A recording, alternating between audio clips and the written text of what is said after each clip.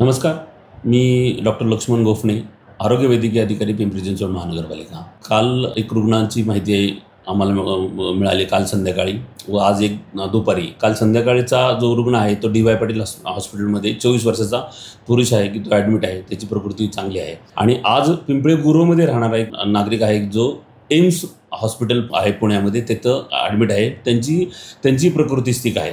ठीक आहे. ह्या असे दोन रुग्ण आपल्याला झिकाचे पहिल्यांदाच पिंपरी चिंचवडमध्ये आढळलेले आहेत. खरं तर झिका जो आजार आहे तो डेंग्यूसारखाच आहे. डेंग्यूपेक्षाही सौम्य आजार आहे झिका. परंतु ह्या फक्त ह्याच्यामध्ये एकच काळजी घेणं गरजेचं आहे सगळ्यात इम्पॉर्टंट ज्या कोणी गरोदर माता आहेत म्हणजे ज्या ज्या महिला गरोदर आहेत त्यांच्या बाळांना मायक्रोकेफॅली नावाचा आजार होण्याची शक्यता असते.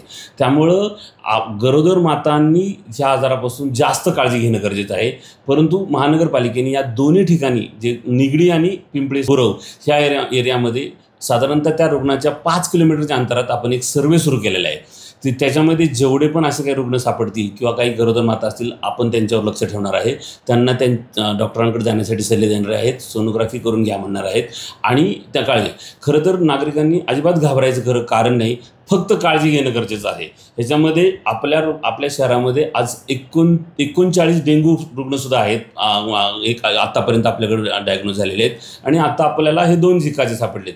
आणि ह्याच्यामध्ये आपल्याला डेंग्यू सारखीच वेक्टर मेजर करायचे आहेत म्हणजे उपाययोजना करायच्या आहेत म्हणजे आपण महानगरपालिकेने एक मोहीम हाती घेतलेली बीट डेंगू कॅम्पेन ह्याच्यामध्ये आपण आठवड्याभर निरनिराळे महापालिकेतर्फे आपण कार्यक्रम घेतो की त्याच्यामध्ये शाळा असतील ऑफिसेस असतील किंवा घरोघरी जाऊन असतील अशा सगळीकडे आपण डेंग्यूची अवेअरनेस ॲक्टिव्हिटी घेतो. किंवा लोकांच्या घरात असलेल्या साचलेलं पाणी आपण दूर करायचा प्रयत्न करतो.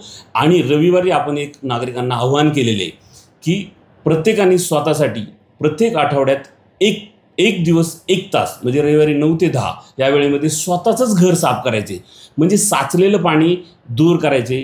कुंड्यामध्ये फ्रीजमध्ये काही करवंट्यामध्ये टायरमध्ये जे पाणी साचतं त्याच्यामध्ये हा एडिस नावाचा डास तयार होतो. आणि त्याच्यापासूनच डेंग्यू किंवा झिकासारखे आजार होण्याची शक्यता असते. त्यामुळे ना नागरिकांनी घाबरून न जाता परंतु वेक्टर मेजरवर कारवाई क- करणं आवश्यकता आवश्यक आहे. घरातलं साचलेलं पाणी दूर करायचं आहे जे जेणेकरून डास होणार नाही. की आपल्याकडं महानगरपालिकेकडं वायसीम हॉस्पिटल किंवा इतर चार मेजर हॉस्पिटल असे पाच मे मेजर हॉस्पिटल्स आहेत. इतरही काही आहे. आपल्या सगळ्या रुग्णालयामध्ये ह्याच्यावरची ट्रीटमेंट उपलब्ध आहे. खरं तर डेंग्यू किंवा झिका या आजारांना स्पेसिफिक अशी ट्रीटमेंट नसते. तो सेल्फ स्वतःहूनच बरा होतो. त्याचं कॉम्प्लिकेशन होऊ नये एवढी आपली काळजी असते आणि ही यंत्रणा आपल्याकडे सज्ज आहे. आमच्या आरोग्य विभागामार्फत मार्फत सगळीकडं फवारणी स्पॉगिंग स्प्रेइंग ह्या सगळ्या गोष्टी होत आहेत. तसंच आजच माननीय आयुक्त सरांनी दुपारी ह्या बाब- बाबत एक बैठक घेऊन आरोग्य आणि वैद्यकीय विभाग ह्या दोन्ही विभागाला सूचना दिलेल्या आहेत.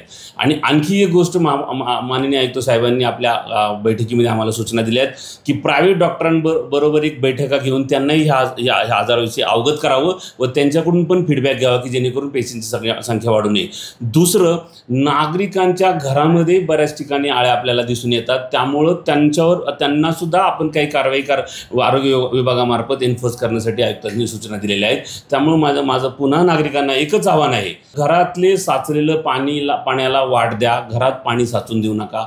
दहा एम एल पाण्यामध्ये सुद्धा हे डेंग्यूचा जो आळ्या असतात एडिस व्हायरस जो असतो तो ब्रीड होतो किंवा त्याच्या आळ्यातून ढास निर्माण होऊन आपल्याला चावून डेंग्यू आणि हे होण्याची शक्यता आहे. त्यामुळं स्वच्छता राहणे घरातले पाणीला वाट करून देणे आणि जर का काही ताप किंवा डेंग्यू सदृश लक्षण आली तर रुग्णालयात दाखवणे एवढंच आव्हान आहे. धन्यवाद.